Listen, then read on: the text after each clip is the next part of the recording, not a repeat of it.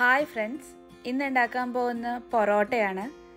അതിനായിട്ട് ഒരു പാത്രത്തിലേക്ക് മൂന്ന് കപ്പ് ഓൾ പർപ്പസ് ഫ്ലോർ അല്ലെങ്കിൽ മൈദ എടുത്തു വയ്ക്കുക അതിലേക്ക് ഒരു ടേബിൾ സ്പൂൺ പഞ്ചസാര ഇട്ട് വയ്ക്കുക അര ടീസ്പൂൺ ഉപ്പും കൂടി ചേർത്ത് ഒരു ടേബിൾ സ്പൂൺ ബട്ടർ അല്ലെങ്കിൽ രണ്ട് ടേബിൾ സ്പൂൺ എണ്ണയും ചേർത്ത് നന്നായിട്ട് മിക്സ് ചെയ്ത് വെക്കാം. അതിലേക്ക് ഒരു മുട്ട പൊട്ടിച്ചൊഴിക്കുക. കൂടാതെ അര കപ്പ് പാൽ നോർമൽ ടെമ്പറേച്ചറിലുള്ള പാൽ ഒഴിച്ച് നന്നായി കൈവച്ച് മിക്സ് ചെയ്തെടുക്കുക. വെള്ളം ചേർക്കുന്നതിന് മുൻപേ ഇതൊന്ന് മിക്സ് ചെയ്ത് നന്നാക്കി വയ്ക്കുക അതിലേക്ക് അര കപ്പ് വെള്ളമാണ് ഞാൻ ആദ്യം ആഡ് ചെയ്ത് കൊടുക്കുന്നത് നന്നായി കുഴച്ചിട്ട് അതിലേക്ക് ആവശ്യമുള്ള വെള്ളം ചേർക്കുക. എനിക്ക് എക്സ്ട്രാ ഒരു ടേബിൾ സ്പൂൺ വെള്ളമാണ് ചേർത്തത്.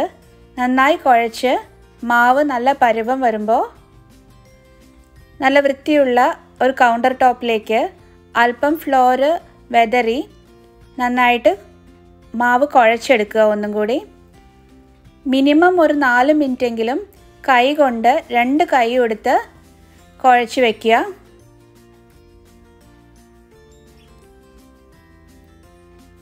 നന്നായി കുഴച്ച് വരുമ്പോൾ നമ്മൾ ഡവ് ഉള്ളിലേക്ക് ടക്കിൻ ചെയ്തിട്ട് ഒന്നുകൂടി കുഴച്ച് നല്ല റൗണ്ടാക്കി നമുക്കൊരു പാത്രത്തിലേക്ക് ഒരു രണ്ട് ടേബിൾ സ്പൂൺ എണ്ണയും ഒഴിച്ച് നന്നായി തടകി വയ്ക്കാം അതിന്റെ മുകളിലേക്ക് ഒരു നനഞ്ഞ തോർത്ത് അല്ലെങ്കിൽ എന്തെങ്കിലും തുണി വെച്ച് മൂടി വയ്ക്കുക ഒരു മണിക്കൂറെങ്കിലും അതിന് റെസ്റ്റ് ചെയ്യാൻ വെക്കണം. ഒരു മണിക്കൂറിന് ശേഷം തുണി മാറ്റി കഴിയുമ്പോൾ എണ്ണയെല്ലാം മാവിലേക്ക് ഇറങ്ങി നന്നായി പിടിച്ചു വെച്ചിട്ടുണ്ടാവും. അത് വീണ്ടും കൗണ്ടർ ടോപ്പിലേക്ക് വെച്ച് ജസ്റ്റ് ഒന്ന് കുഴച്ചെടുക്കാം. ഉരുള ഉരുട്ടാനായിട്ട് ഒരു സൈഡിൽ നിന്നും നമ്മുടെ തം ഫിംഗർ ഉള്ളിലേക്ക് അമർത്തി ഓരോ ഉരുളയും മറ്റേ കൈയുടെ ഇടയിലൂടെ എടുക്കാം. അങ്ങനെ ഓരോ ഉരുളയും നമുക്കിങ്ങനെ ഉരുട്ടിയെടുക്കാം.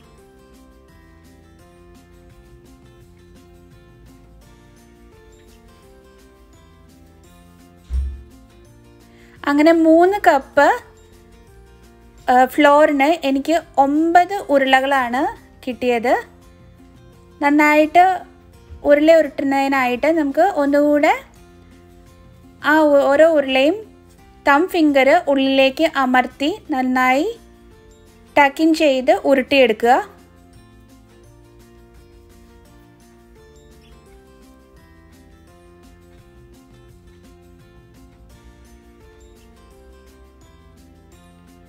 അങ്ങനെ ഒമ്പത് ഉരുളകളും കുറച്ച് എണ്ണ തടകി നമുക്ക് മാറ്റി വയ്ക്കാം ഒരു അരമണിക്കൂറെങ്കിലും നമുക്ക് അത് റെസ്റ്റ് ചെയ്യാൻ വെക്കണം. എല്ലാ ഉരുളകളും തനിയെ എടുത്ത് നന്നായി എണ്ണ തടകി നമുക്ക് എടുത്തു വയ്ക്കാം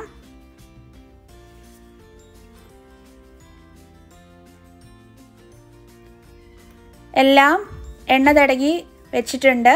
ഇനി ആ നനഞ്ഞ തോർത്ത് അതിന്റെ മുകളിൽ ഇട്ട് ഒരു അരമണിക്കൂർ റെസ്റ്റ് ചെയ്യാൻ വെക്കുക.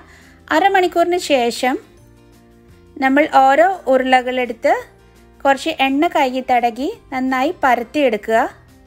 അതിന്റെ മുകളിലേക്ക് കുറച്ച് ഫ്ലോർ ഇട്ടിട്ട് എണ്ണയെ ഒഴിച്ച് നന്നായി ഒന്ന് പരത്തി രണ്ട് കൈയും വെച്ച് റൈറ്റ് ഹാൻഡിലെ നാല് വിരലുകൾ മുകളിൽ വെച്ച് തള്ളവിരൽ താഴെയും ലെഫ്റ്റ് ഹാൻഡിലെ നാല് വിരലുകൾ താഴേക്കും തള്ളവിരൽ മുകളിലുമായും പിടിച്ച് നന്നായിട്ട് അടിച്ചെടുക്കുക. ആദ്യമൊക്കെ അടിക്കുമ്പോൾ കുറച്ച് ബുദ്ധിമുട്ടുണ്ടാകും. പക്ഷേ അടിച്ചടിച്ച് ശരിയായി വന്നോളും. രണ്ട് കൈ ഒരു നിശ്ചിത അകലം വെച്ചിട്ട് വേണം അടിച്ചെടുക്കാൻ. ചിലപ്പോൾ പൊട്ടിപ്പോകും. പക്ഷേ സാരമില്ല. പിന്നെയും ട്രൈ ചെയ്താൽ നിങ്ങൾക്ക് ശരിയായി വരും.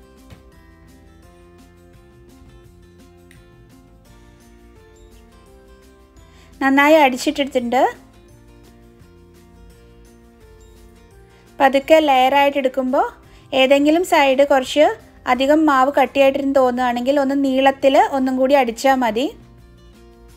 അങ്ങനെ അത് നമുക്ക് റൗണ്ടാക്കി എടുത്ത് മാറ്റി വയ്ക്കുക അതുപോലെ ബാക്കിയുള്ള മാവിന്റെ ഉരുളകളും നമുക്കിതുപോലെ അടിച്ചെടുക്കാം.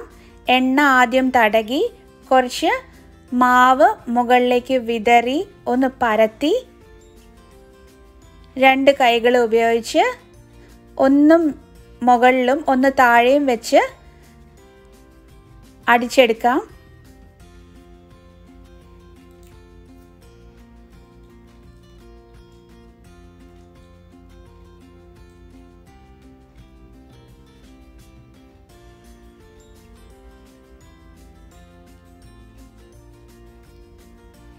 നല്ല നൈസായിട്ട് വരും അടിച്ചെടുക്കുമ്പോൾ അത് പതുക്കെ കൗണ്ടർ ടോപ്പിൽ നിന്ന് വിടിവിച്ചിട്ട് നീളത്തിൽ ഒന്നുകൂടി അടിച്ചിട്ടുണ്ടെങ്കിൽ ഒന്നും കൂടി നീളം വരും. അത് റൗണ്ടിൽ ചുറ്റിയെടുത്ത ഇതുപോലെ ഇരിക്കും.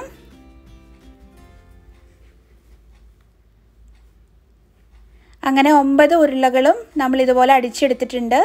അതും കുറച്ച് എണ്ണ തടകി അരമണിക്കൂർ റെസ്റ്റ് ചെയ്യാൻ വെക്കുക. ഓരോ പ്രാവശ്യവും അരമണിക്കൂറോ ആദ്യം മാവ് കുഴച്ചിട്ട് ഒരു മണിക്കൂർ റെസ്റ്റ് ചെയ്യാൻ വെച്ച ശേഷം ഉരുളകളാക്കി അരമണിക്കൂറും അടിച്ച ശേഷം അരമണിക്കൂറും റെസ്റ്റ് ചെയ്യാൻ വെക്കണം. അരമണിക്കൂറിന് ശേഷം കുറച്ച് ഓയിൽ കയ്യിലെടുത്തിട്ട് ഓരോ അടിച്ച ഉരുളകളും നമുക്ക് കൈകൊണ്ട് തന്നെ പ്രസ് ചെയ്ത് പരത്തിയെടുക്കാം. ചപ്പാത്തിക്കുഴയൊന്നും വേണ്ട പരത്താൻ വേണ്ടി കൈകൊണ്ട് തന്നെ എണ്ണ വെച്ച് പ്രസ് ചെയ്താൽ മതി. നന്നായി റൗണ്ടായി കിട്ടും.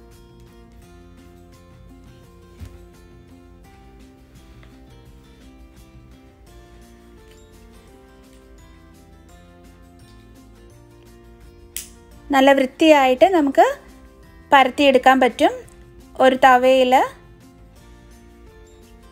ഒരു മീഡിയം ഫ്ലെയിമിൽ വെച്ചാൽ മതി. എന്നിട്ട് ഓരോ പൊറോട്ടയും ആവശ്യത്തിന് എണ്ണ ഒഴിച്ച് ചുട്ടെടുക്കാം.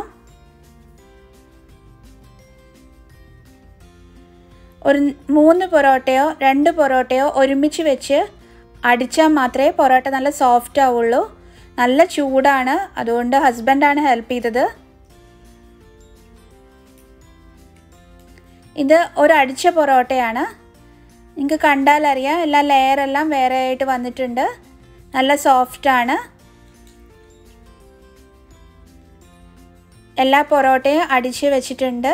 ഇടയ്ക്കിടയ്ക്ക് ഇന്റർവെൽ ആവശ്യമുള്ളത് കൊണ്ട് കുറച്ച് ടൈം എടുക്കും പൊറോട്ട ഉണ്ടാക്കാനായിട്ട്. പക്ഷെ ടേസ്റ്റി ആയിട്ട് നല്ല സോഫ്റ്റായ പൊറോട്ട വീട്ടിലുണ്ടാക്കിയെടുക്കാം.